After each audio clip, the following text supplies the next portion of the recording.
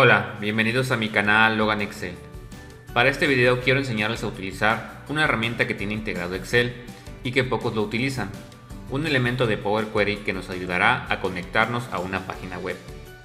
Vamos a ver un ejemplo de una hoja de Google Sheet del cual va a tener captura de diferentes usuarios compartiendo una misma hoja de cálculo.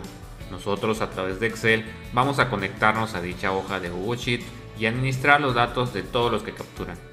Con esto podemos controlar, manipular, limpiar, normalizar toda la información desde un usuario principal. Esto nos ayudará a tener una base de datos en la nube y manejar en Excel. Mi nombre es Eric Ávila. Comencemos.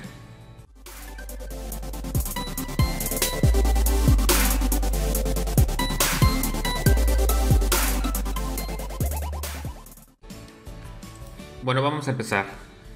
Aquí les traigo en este nuevo tutorial una pequeña base de datos que vamos a hacer un ejemplo de conectarnos en este caso a una página de Google Sheets. Vamos a en este caso a necesitar una pequeña base de ejemplo. Yo aquí les coloqué unas ventas diarias que tenemos por vendedor. Tenemos cuatro vendedores y un importe. Pero esta, esta pequeña base la tenemos en Excel. Ahora voy a plantearles una situación ¿Qué pasaría si nosotros tenemos que repartir cierto trabajo en diferentes partes eh, colocadas o personas que están conectadas en diferentes puntos de, un lugar? Y que estos a su vez necesitan eh, colocar una información de captura diaria de cuánto es lo que están vendiendo. Este a su vez colocarlo en una base de datos, en una nube y que a su vez nosotros a través de un Excel podamos manipular o controlar dicha información. Nosotros lo podemos hacer a través de una hoja de Google Sheets. Entonces vamos al ejemplo como tal. Primero que nada vamos a nuestro Google Drive.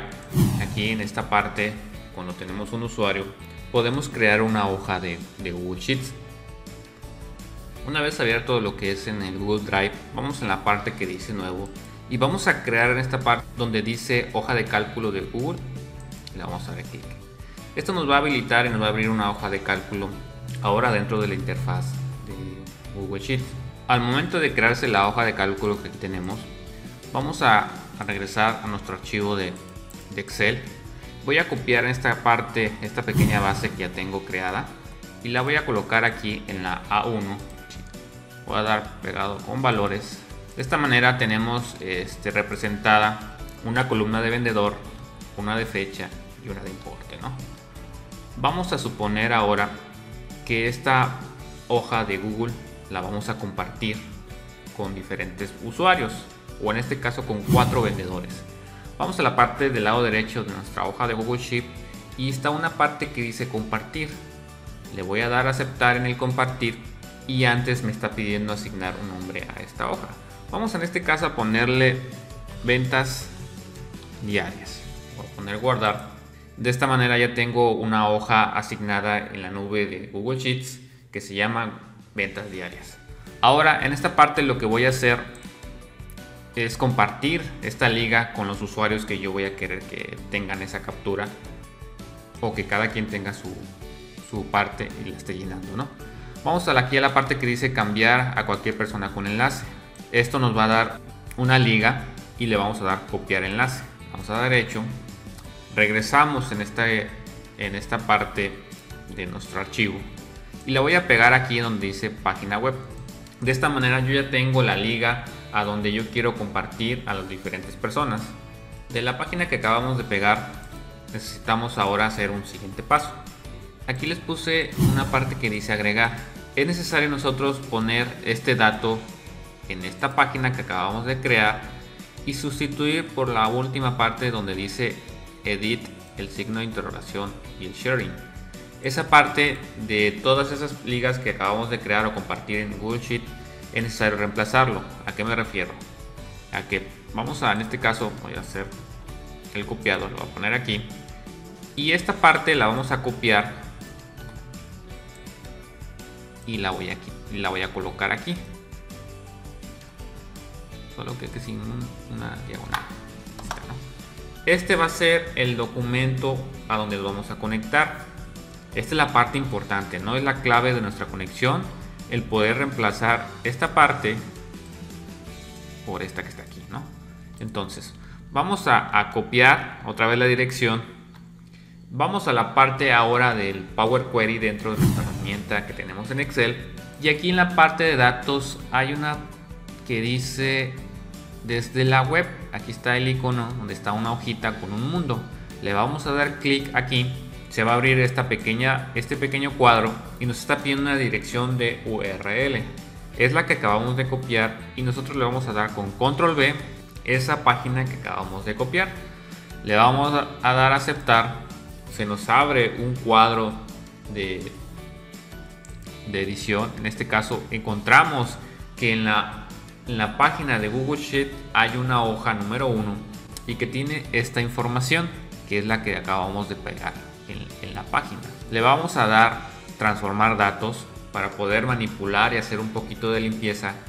Entonces nosotros vamos a ver dependiendo de la información que ustedes tengan, que ustedes van a, manipular, nosotros vamos a hacer la limpieza dentro de Power Query.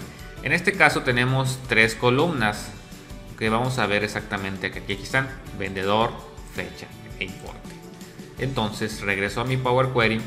Yo solamente necesito en este caso esas mismas tres columnas, pero vamos a tener que colocarle que esta es de vendedor, que esta es de fecha y que esta es de importe. Entonces voy a poner la opción de usar la primera fila como encabezado para que este me lo detecte como vendedor. Vamos a convertir ahora la columna de fecha.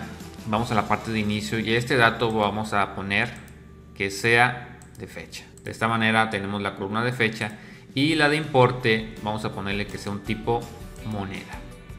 De esta manera tenemos las tres columnas ya limpias, depuradas y que no nos marcó error dentro de Power Query. A esta, si quieren, le cambiamos el nombre. Vamos a poner ventas diarias. Vamos a dar guardar y cerrar en. Y vamos a escoger en esta, en esta parte una hoja de cálculo existente que la puse yo aquí en la conexión. voy a poner aquí en la B5 y vamos a dar a aceptar. De esta manera se acaba de crear nuestro cuadro que está conectado a nuestra hoja de Google Sheets.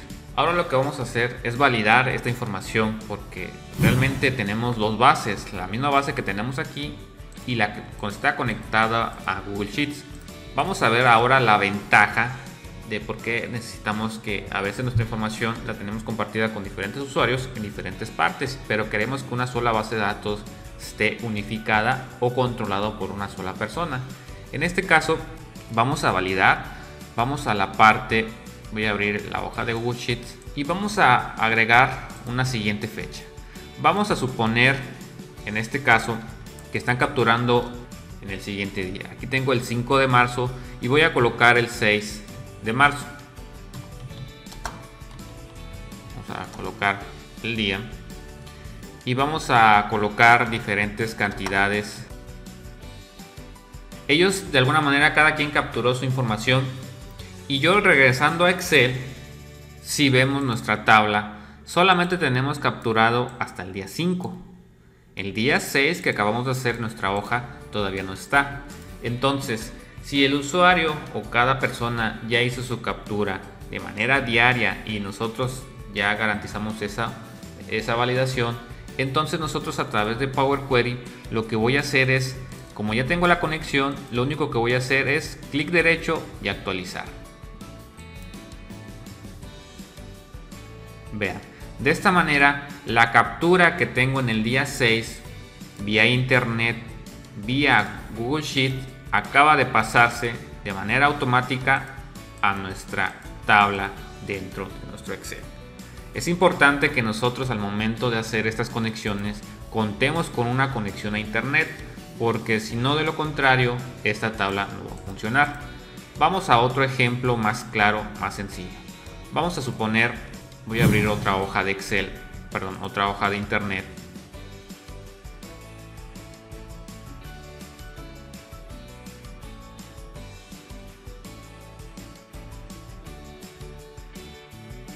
Vamos a suponer que este es el usuario 1.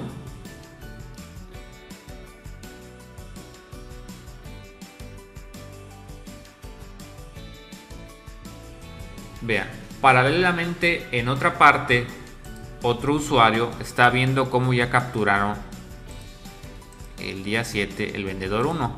Ahora, vamos a ver que el vendedor 2 va a hacer su captura.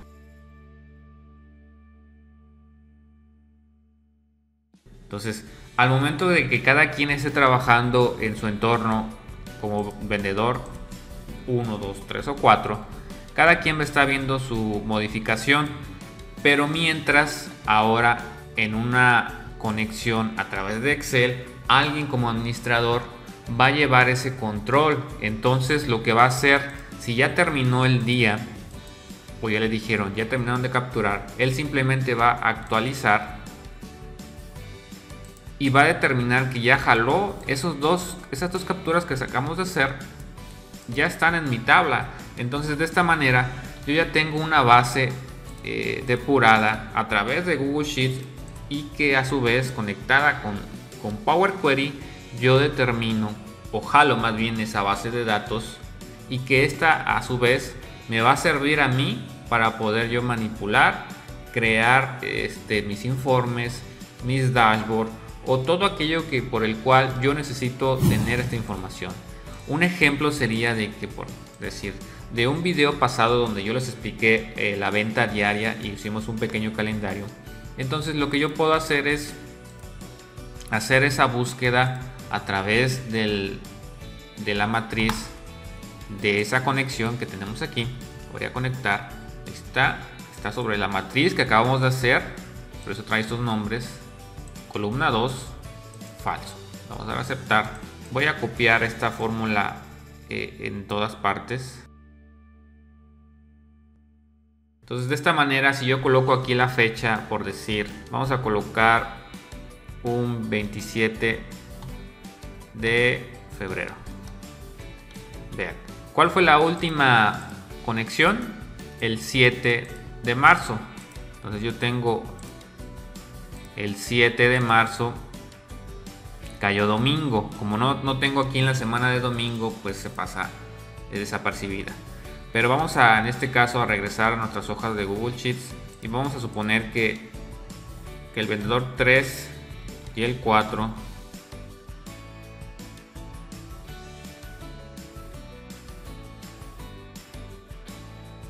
que cada quien lo hizo, ¿no? Entonces está hasta el día 8. Regresando a mi hoja de control, tengo hasta el día 7. De lo mismo sucede aquí en la parte de de mi búsqueda, solamente la tengo hasta el día 6. Entonces yo voy a darle a actualizar y vean, jaló la nueva información y que a su vez, vean, ya la tengo ahora del día 8.